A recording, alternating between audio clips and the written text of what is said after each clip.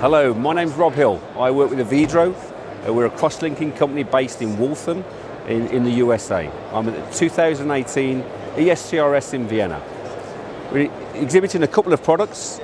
The first one is the Mosaic system. This is for customized keratoconus treatments. And the, the thinking behind this is that we only treat the damaged part of the eye. Only treat the weakest part of the cornea, and we can do this by using a digital mirror device that's contained within this head.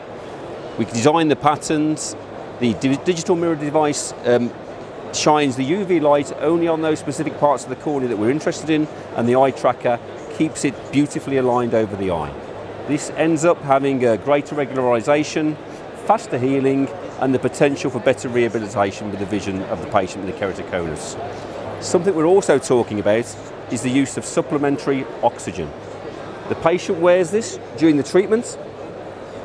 Oxygen is pumped into the eye and we keep over 95% oxygen concentration and we believe this will give us the possibility for 2019 of having an epi-on procedure that's as effective as an epi-off procedure.